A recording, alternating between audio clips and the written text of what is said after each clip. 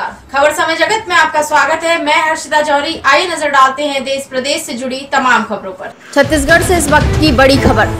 छत्तीसगढ़ के कोरिया जिला मुख्यालय बैकुंठपुर के रामानुज हायर सेकेंडरी स्कूल में 23 मई को सुबह आठ बजे से शुरू होगी मतगणना। जिला प्रशासन ने अपनी पूरी तैयारी की मुस्तैद। खबर समय जगत के लिए छत्तीसगढ़ से ब्यूरो चीफ नीलेश तिवारी की रिपोर्ट। खबर समय जगत। एक संदेश पूरा देश। एक आगाज़ सच दिखाने का।